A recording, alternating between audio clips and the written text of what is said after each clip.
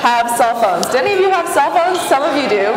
I have one. Okay. Well, a lot of people have them. In fact, more than 1 billion people on our planet have cell phones.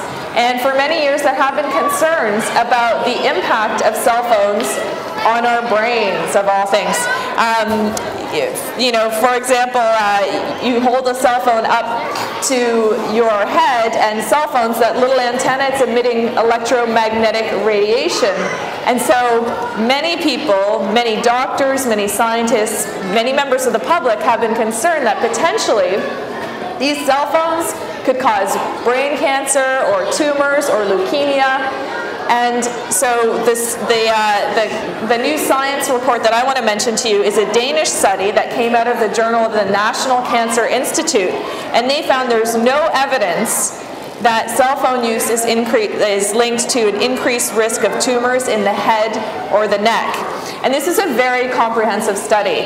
They looked at over 420,000 users and out of all those users, more than 50,000 users had been using cell phones for more than 10 years. So they had this really good timeline of data and this really broad pool of data to look at.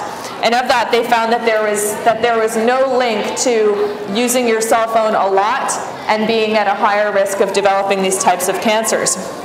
Um, this is an agreement with previous independent studies that were commissioned by the UK government. Um, they also found that there was no correlation or no, no increased risk.